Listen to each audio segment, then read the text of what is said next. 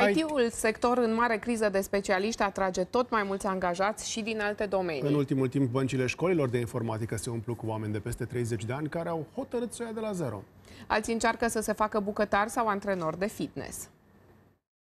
Claudia a lucrat ani buni în administrația publică, iar acum se pregătește să devină programator. Mi-am dat seama că studiile pe care eu le-am absolvit, cei mai matematică, mă vor ajuta cu siguranță. Mai am colegi și prieteni, cel din cei care au terminat și facultatea cu mine sau prieteni um, din alte domenii care se îndreaptă încet încet către către IT. Fost profesor de engleză, Marc a venit în capitală pentru un nou drum în carieră. Încă de când eram mic am avut, uh, nu știu, o afinitate pentru computere, jocuri și îmi doresc la finalul finalizării cursului să lucrez în industria de gaming. Sunt uh, persoane care sunt plafonate în joburile lor anterioare și uh, premiza unor câștiguri mult mai mari le, le trezește acest interes. Studentul trebuie să-și plătească acest curs de un an de zile abia în momentul în care noi deja le găsim un job. Cursurile în domeniu pornesc de la câteva sute de euro și ajung la câteva mii, însă locul de muncă e de multe ori garantat. Asta pentru că facultățile de profil au 9000 de absolvenți anual, dar pe piață e nevoie de 35.000 de specialiști, arată estimările din industrie.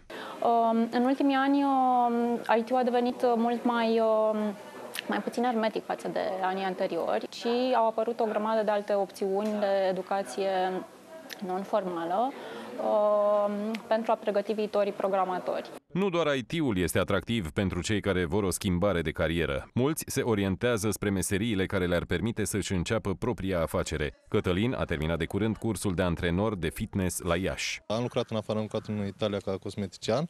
După m-am întors aici și am făcut uh, acest curs de instructor fitness. Dar în curând mă gândesc, desigur, să fac și o afacere. Iar șomerii pot căpăta noi calificări fără să plătească la agențiile pentru ocuparea forței de muncă. Pot opta pentru curs cum ar fi de bucătar sau ospătar.